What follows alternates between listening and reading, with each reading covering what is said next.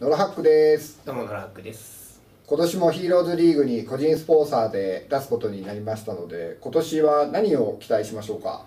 そうですよね。うちは今年もあれですよね。えっ、とレギュレーションとしては光るもの、まあ、LED だっていう。まあ、それをまずは、えーと、最低ラインですよね、うん、のところであるんですけれども、まあ、それ以外にやっぱちょっとこう何の役に立つか分かんないとかこうこんなの思いつかなかったみたいなびっくりするようなもの欲しいですよねそうですね。今年は松下君が無駄の T シャツを着てますけど、はい、ノラハックのコンセプトは大体近いものがありますからね。そうですね。なんか世の中の役に立たないものとか。そうですね。まあ、まあちょっとは役に立ってるんですけどね、はい、まあでも見てこうびっくりするものみたいなのをちょっと期待したいですよね。